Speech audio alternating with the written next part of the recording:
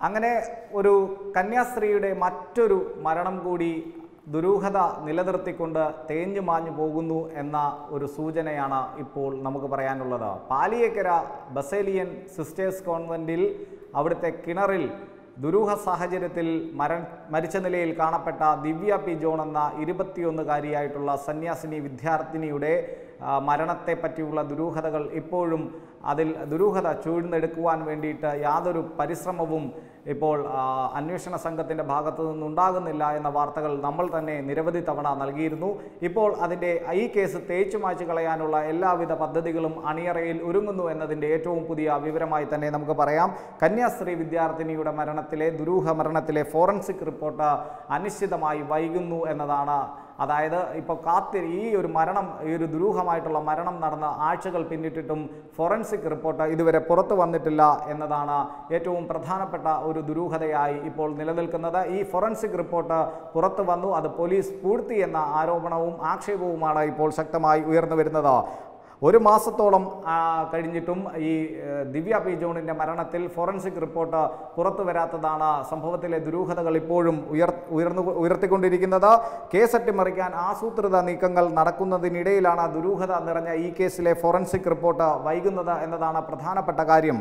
മരണം സംഭവിച്ച കൂടുതൽ വ്യക്തത വേണമെങ്കിൽ ഫോറൻസിക് റിപ്പോർട്ട് എന്തായാലും ലഭിക്കേണ്ടതുണ്ട്. ദിവ്യയുടെ ആന്തരിക അവയവങ്ങളുടെ സാമ്പിളുകൾ ശേഖരിച്ച് തിരുവനന്തപുരം ഫോറൻസിക് ലാബിലേക്ക് അയച്ചതാണ്. റിപ്പോർട്ട് വൈകുന്നതിനാൽ തുടരന്വേഷണവും ഇപ്പോൾ ഏതാണ്ട് നിലച്ച മട്ടാണ് എന്നാൽ ഫോറൻസിക് റിപ്പോർട്ട് തൽക്കാലത്തേക്ക് പൂഴ്ത്തി വെച്ചിരിക്കുകയാണെന്ന ആരോപണമാണ് ഇപ്പോൾ വിവിധ കോണുകളിൽ നിന്നും ഉയരുന്നത്.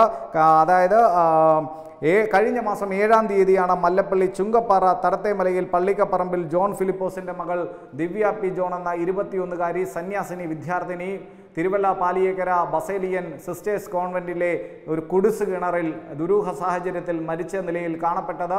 നമുക്കറിയാം മലകര കത്തോലിക്ക സഭയുടെ അധീനതയിലുള്ള ഈ മഠത്തിലെ മരണം ഈ മരണം മറ്റുള്ള മഠങ്ങളിലെ കന്യാസ്ത്രീകളുടെ ദുരൂഹ മരണത്തിന് സമാനമായ രീതിയിൽ തന്നെ ഒരു ഒരുപക്ഷെ തേഞ്ഞു മാഞ്ഞു പോകുമെന്ന ആരോപണങ്ങൾ നിരവധിയായി ഉയർന്നിരുന്നു. അതിനെ ശരിവെക്കുന്ന തരത്തിലാണ് ഈ ഒരു കാര്യങ്ങൾ കൂടി നമുക്ക് ചേർത്ത് വായിക്കേണ്ടത്. നമ്മൾ മനസ്സിലാക്കേണ്ടതുണ്ട് കൃത്യമായ രീതിയിൽ ഇടപെടൽ ആ ഒരു കേസ് തുടക്കത്തിൽ മുതലേ വഴിതിരിച്ചു വിടാനുണ്ടായിരുന്നു എന്ന കാര്യവും നമ്മൾ തന്നെ വാർത്ത നൽകിയിരുന്നു. കാരണം മഠത്തിൽ നിന്നും നടന്നു പോകാൻ മാത്രം ദൂരമുള്ള സ്ഥലമാണ്. ഏതാണ്ട് ഒരു കിലോമീറ്റർ പോലും ഇല്ലാത്ത പ്രദേശത്താണ് തിരുവല്ല താലൂക്ക് ആശുപത്രി ഉള്ളത്. അവിടേക്ക് ദിവ്യയുടെ മരണം മൃതദേഹം കൊണ്ടുപോയില്ല. പകരം സഭയുടെ ഉടമസ്ഥതയിലുള്ള പുഷ്പഗിരി മെഡിക്കൽ കോളേജ് ആശുപത്രിയിലേക്ക് കൊണ്ടുപോയി. അതിൽ ദുരൂഹതയുണ്ട്. എന്നാൽ പോലീസ് നൽകിയ ഒരു ഭാഷ്യം എന്തെന്നാൽ ദിവ്യയെ പുറത്തെടുക്കുമ്പോൾ കിണറ്റിൽ നിന്ന് പുറത്തെടുക്കുമ്പോൾ ജീവനുണ്ടായിരുന്നു എന്നതാണ് ആ ഒരു വാദം പൊളിഞ്ഞത്. ഫയർഫോഴ്സ് ഈ മൃതദേഹം പുറത്തെടുക്കുന്ന വീഡിയോ കണ്ടപ്പോഴാണ് കാരണം ഒരു മൃതശരീരമാണ്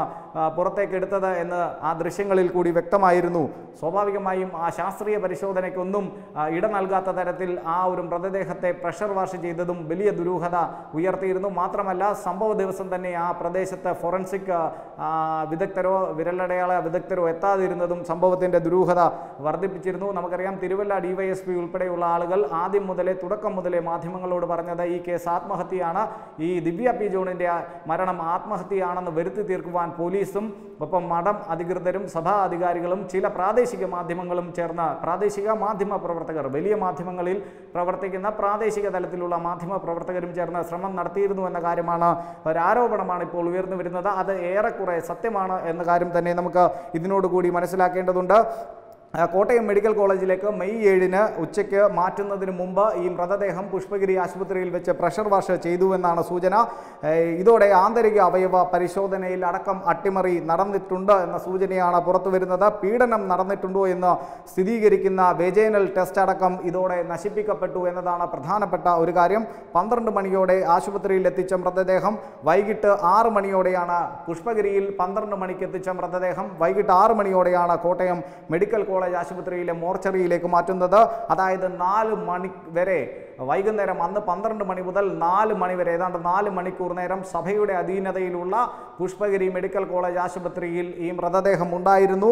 ഈ മരണത്തിൽ ദുരൂഹതയുള്ള സമയത്താണ് ഈ സാഹചര്യത്തിൽ എന്തിനാണ് ഈ ഇത്ര സമയം ഈ ഒരു ബോഡി പുഷ്പഗിരി മെഡിക്കൽ കോളേജ് ആശുപത്രിയിൽ സൂക്ഷിച്ചത് എന്നതാണ് വലിയ ദുരൂഹത ഉയർത്തുന്ന മറ്റൊരു കാര്യം. നമുക്കറിയാം പീഡനം നടന്നിട്ടുണ്ടോ എന്നത് ശാസ്ത്രീയമായി തെളിയിക്കാൻ കഴിയുന്ന വെജേനൽ ടെസ്റ്റ് ഉൾപ്പെടെയുള്ള ഉള്ളതിന്റെ സാധ്യതകൾ തന്നെ ഇല്ലാതാക്കുന്ന തരത്തിലേക്ക് ഈ മൃതദേഹത്തെ പ്രഷർ വാഷ് ചെയ്തിരുന്നു എന്നത് നമ്മൾ തന്നെ വാർത്ത നൽകിയിരുന്നതാണ്. മരണ സമയത്തിലടക്കം കൃത്യത വരുത്താൻ ഇതുവരെ പോലീസിന് സാധിച്ചിട്ടില്ല എന്നതും ഈ ഒരു കേസ് ഏതാണ്ട് തേഞ്ഞു മാഞ്ഞു പോകുന്നു എന്ന ലക്ഷണങ്ങളാണ് കാണിക്കുന്നത്. ലോക്കൽ പോലീസിന്റെ അന്വേഷണ പിഴവിനെ തുടർന്ന് ക്രൈംബ്രാഞ്ച് ഏറ്റെടുക്കുന്ന ഏറ്റെടുത്ത ഈ കേസിനെ അട്ടിമറിക്കാൻ പോകുന്ന പ്രധാന ഘടകങ്ങളാണ് ഈ ശാസ്ത്രീയ തെളിവുകൾ നശിപ്പി നശിപ്പിക്കപ്പെട്ടതിലൂടെ ഉണ്ടായിട്ടുള്ളത്.